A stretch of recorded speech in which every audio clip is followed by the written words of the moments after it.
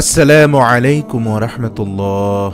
সুপ্রিয় আলোর পথের দর্শক মণ্ডলী, আশা করি মহান আল্লাহ রব্বুল আলমিনের অশেষ মেহেরবানি ও দয়ায় আপনারা সবাই ভালো আছেন। সুপ্রিয় দর্শক, আজকে এমন তিনটি কাজ নিয়ে আপনাদের সাথে আলোচনা করব। মাহে রমজানের যে তিনটি কাজ, কোনো ঘরে করা হয়ে থাকলে কখনোই বরকত আসবে না। অনেকে বলে থাকে, আমার ঘরে বরকত নেই, আয় রোজগার ভালো নেই, কিন্তু সারাক্ষণ কোনো না কোনো বিপদ লেগেই থাকে। এমনকি বাচ্চাদের রোগ ব্যাধি লেগেই থাকে। এমন কোনো সপ্তাহ নেই যে ডাক্তারের কাছে যেতে হয় না। আর এ সকল কারণে আয় রোজগার ভালো হওয়া সত্ত্বেও মাস শেষে অভাব অনটন দেখা যায়। প্রিয় দর্শক, আমরা অনেকেই জানি না যে আসলে কি কি কারণে ঘর থেকে বরকত চলে যায়।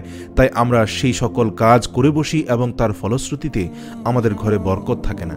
তাই আজকে আমি আপনাদের এমন তিনটি কাজের কথা বলব, যে কাজের ফলে আমাদের ঘরসমূহের বরকত দূর হয়ে যায় আর ফিরে আসে না। সে সকল কাজগুলোর প্রথম কাজ হলো মিথ্যে কথা বলা। যে ঘরের লোকজন মিথ্যেবাদী, সেই ঘরে বরকত দূর হয়ে যায়।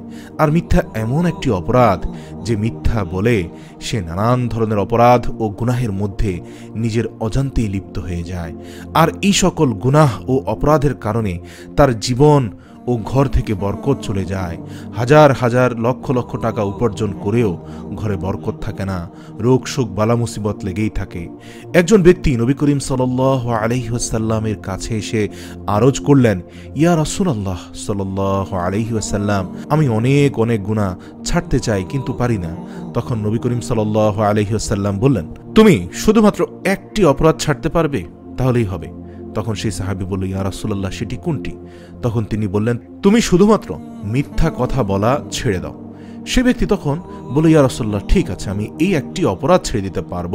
সে ব্যক্তি যখন মিথ্যা কথা বলা ছেড়ে দিল, তখন আস্তে আস্তে তার সকল অভ্যাসগুলো দূর হয়ে গেল। কারণ দেখা গেল সে চুরি করেছে, অতপর স্বীকারোক্তির ক্ষেত্রে সত্য বলে দিয়েছে। মানুষ তাকে সাজা দিয়েছে, অতপর সে পাপ কাজ থেকে দূরে সরে এসেছে। সে ভেজাল দ্রব্য মিশ্রিত করেছে, অতপর জিজ্ঞেস করার পর সে সত্য বলে দিয়েছে, অতপর সেখানেও সে পানিশমেন্টের শিকার হয়ে সে সঠিক পথে ফিরে এসেছে। সবকিছু বিশ্লেষণ করলে দেখা যায় মিথ্যা সকল অপরাধের মা। সুতরাং মিথ্যা হলো সকল অপরাধের প্রথম পদক্ষেপ। তাই মিথ্যা থেকে বাঁচতে পারলে আপনি অনেক গুনাহ থেকে অনায়াসে বেঁচে থাকতে পারবেন। এবং এর বরকতে আপনার ঘরে আল্লাহ রব্বুল্লা আলামিন রহমত ও বরকত নাজিল করবেন। প্রিয়দর্শক দ্বিতীয় কাজটি হলো আল্লাহ প্রদত্ত নেয়ামতের সাথে বেয়াদবি করার কারণে ঘর থেকে বরকত চলে যায়। আর রিজিকের সাথে বেয়াদবি করা হলো অপচয় করা। সুতরাং আপনি অপচয় করলে সেটি আল্লাহ তালার দেওয়া রিজিকের সাথে বেয়াদবি করা হবে। আর এর ফলে ঘর থেকে বরকত চলে যায়। আজকাল অপচয় এমন হারে বেড়ে গেছে যে তা ভাষায় প্রকাশ করার মতো নয়। তাই আমাদের প্রত্যেকের ঘর থেকে অভাব, অনটন ও দূর হয় না। বিশেষ করে বিয়ে বাড়িতে দেখা যায়, প্রত্যেকের প্লেটে অতিরিক্ত খাবার পড়ে থাকে, যার স্থান হয় নালা নর্দমার নিকৃষ্ট জায়গায়। সেখানে আয়োজন বেশি করা হয় কিন্তু খাওয়া দাওয়া হয় কম। এতে অপচয় হয় ব্যয় হিসাবে। এছাড়া ব্যক্তিগত উদ্যোগে যারা খাবার নেন, যতটুকু না খেতে পারবেন তার থেকে বেশি নেন, পরবর্তীতে বাকি উচ্ছিষ্ট খাবার নর্দমায় ফেলে দিয়ে জঘন্যয় পাপাচারের সাথে নিজেকে সম্পৃক্ত করছেন মহান রব্বুল আলমিন বলেছেন, তোমরা খাও এবং পান করো, কিন্তু অপচয় করো না। প্রিয় দর্শক, অপচয়কারীকে শয়তানের ভাই বলা হয়েছে, যার ফলে চরমভাবে আল্লাহ তালা রিজিকের সাথে বেয়াদবি করা হয় এই অপচয়ের মাধ্যমে। এবং এর ফলে বরকত আমাদের কাছ থেকে দূরে সরে যায়। বরকত চলে যাওয়ার তৃতীয় কাজটি হলো নামাজের মধ্যে অবহেলা করা। যারা নামাজ না পড়ে আয় রোজগারের উপর বরকত কামনা করে, তারা মূলত বোকার স্বর্গে বসবাস করছে। যে ঘরে নামাজ নেই সেই ঘরে যতই আয় রোজগার হোক না কেন, বরকত যেন পালিয়ে বেড়াবে। সে ঘরে কোনো শান্তি থাকবে না। অতএব আসুন আমরা ঘরের বরকতকে স্থায়ী রাখতে মিথ্যা পরিত্যাগ করি, আল্লাহ তালার শুক্রিয়া আদায় করি এবং অপচয় থেকে সর্বদা বেঁচে থাকি।